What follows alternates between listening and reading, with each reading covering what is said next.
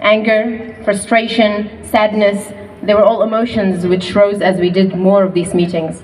I felt pity for their inability to be a free human, to pair their action with their empty words.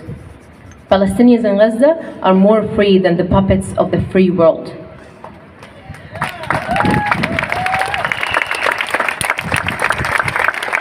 The genocide in Gaza was escalating even more as we drew the deadline of deciding whether to stay on board until Gaza or stop just before that. They needed an answer. Deciding not to stay was not an easy decision. I was closer than ever to Palestine. I can smell it so close and so warm. I have nothing to lose, I said. Yet I know I have so much. I have an amazing community, lively life, dear nephews, my sisters, parents, my work. I've got the gift of life. And I'm reminded that to live for a cause is harder than to die for it. To live with this responsibility and be willing to risk it all, live it to the fullest, and put it all on the line. With every choice I make for this movement, for liberation of Palestine and the whole world. Palestine is not a country anymore. It is an ideology of justice, of humanity, compassion, equality, and freedom. As for us, to shift the current and balance the scale, we need to learn from each other and make this a consolidated global movement. On the journey, we also met artists who I joined voices with and sang, trade unions who were active in successful revolutions, school kids learning about injustice and painting their love to the kids in Gaza, and they gave us the paintings for us to deliver it to Gaza. Local solidarity groups who are committed to continuously meet with their governments and protest. Media teams who were covering Handala and the aim of it. We also met University of A Coruña students and administrators who did the first encampment and put in place a manifesto to protest the rights of students, to protect the, the rights of students protesting affirming the cessation of ties with a genocidal Zionist regime and protecting students on campus with anti-apartheid, anti-Semitic and anti-Palestinian rules.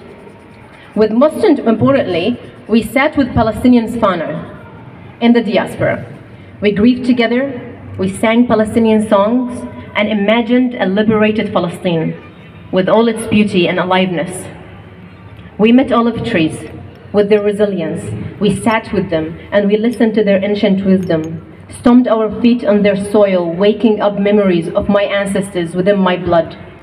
These meetings taught me to keep the light as a guide to my actions and that when the lives of millions past, present and future on the line, we work together. On a micro level, starting with ourselves, holding ourselves and each other accountable, shake the conditioning and decolonize our thoughts, words, and actions. Find our center to act from a place of balance. Ask yourself every day, how am I unconsciously perpetuating the cycle of abuse? How can I contribute even if with one action today? How can I challenge my fear and say the word of truth somehow?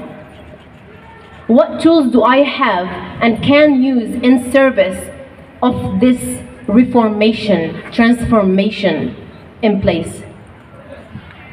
We counterbalance the chaos around with peace within and with organization. The killing with more life.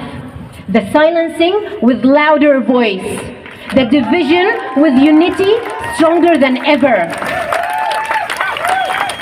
On a macro level, we show up. We show up to marches to council meetings, engage with the system so we can change it from within, infiltrate the cancer of the world with healing on many levels. Top down, bottom up, and we meet in the middle, the balance, that peace that we are looking for. We are going to escalate by organizing even more, holding our politicians accountable for their contribution to this genocide on humanity and to many untelevised ones. We will remind them with their roles why they are elected in the first place. They seem to have forgotten that.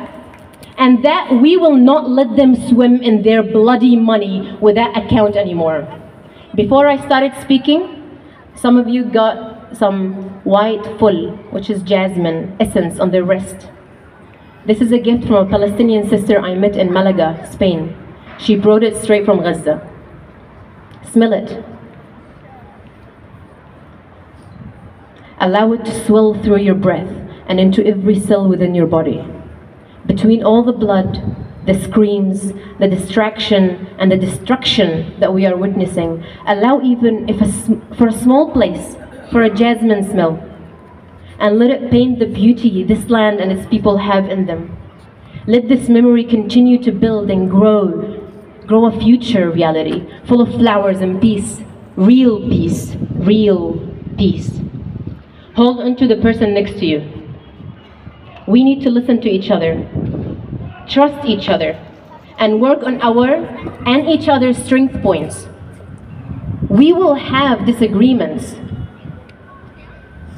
We will look at each other's in the eyes and be like, no, you're wrong. My idea is better.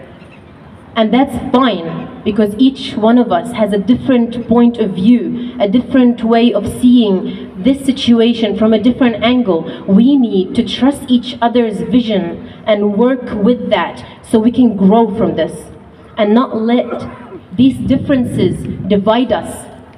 Let's be focused. We are each other's resources.